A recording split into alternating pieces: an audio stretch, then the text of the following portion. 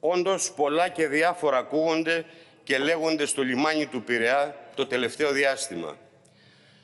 Όπως αποκαλύπτει ο ριζοσπάστης σήμερα, γίνονται εγκρίσεις προσλήψεων από πολιτικά γραφεία για κάποιους που κάνουν κουμάντο επίσης το ποιος θα μπει στη δουλειά, για εμπλοκή πολιτικών προσώπων, ακόμα και την υποχρεωτική εγγραφή σε ένα εργοδοτικό σωματείο ως προϋπόθεση για την πρόσληψη.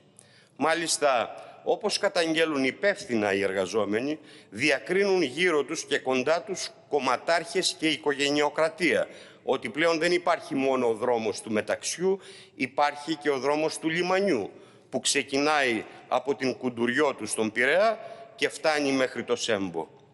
Και όντως, η καταγγελία κεντρίζει το ενδιαφέρον, αφού στην κουντουριό του στεγάζεται το γραφείο του Υφυπουργού Εμπορικής Ναυτιλίας Κώστα Κατσαφάδου.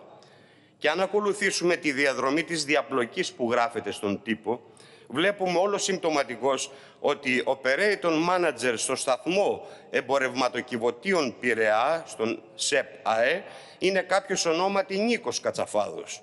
Ενώ διευθυντής προσωπικού στη θηγατρική της Κόσκο D-Port είναι επίσης κάποιος Μιχάλης Κατσαφάδος. Και επειδή στο λιμάνι λένε οι αποστάσεις είναι μεγάλες και πρέπει να φροντίσουν να υπάρχει και κάποιος καλός και γνωστός εκπαιδευτής οδηγών για να τους πηγαίνει και ξανά όλος τυχαίως και αυτός ονομάζεται Νίκος Κατσαφάδος. Και οι συμπτώσεις δεν σταματούν εδώ, γιατί ένα άλλο αυτοκίνητο που κυκλοφορεί μέσα εκεί στους χώρους δουλειάς υποτίθεται για ελέγχους ασφαλείας του λιμανιού αλλά στην πραγματικότητα για να κάνει κατήχηση σε εργαζόμενους, για να προστατεύουν την εταιρεία τους, να μην διεκδικούν κλπ. κλπ. Το οδηγεί ένας που ονομάζεται Θεόδωρος Κατσαφάδος και κάνει δουλειά. Ιδιαίτερα, ιδιαίτερα μετά τον επιτυχημένο απεργιακό αγώνα, εκεί γίνονται πράγματα και θαύματα. Τα συμπεράσματα όλα δικά σας.